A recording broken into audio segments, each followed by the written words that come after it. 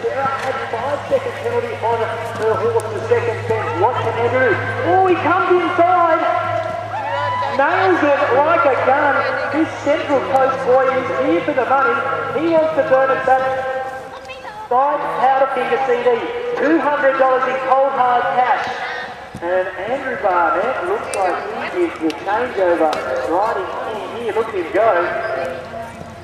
Straight up over the horseland Oxer, no problem there. He flies on, cuts a stride out to fence number six. Comes up to the changeover now. I don't want to be involved here. Here he goes. Okay, now it's all up to the dogs.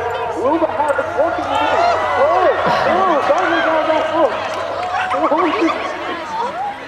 Wilbur has a bad do. Wilbur, Wilbur, go.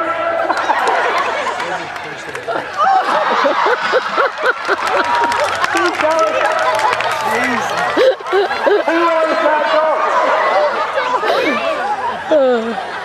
Oh boy, oh boy, I'm worried about this balance plate. Gee, I recently got enough weight underneath that to hold it. We love the water. The time will start. oh, I don't want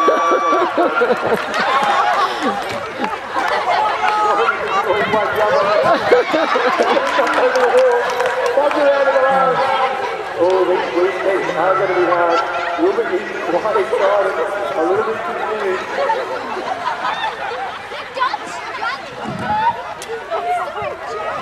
oh, what about that?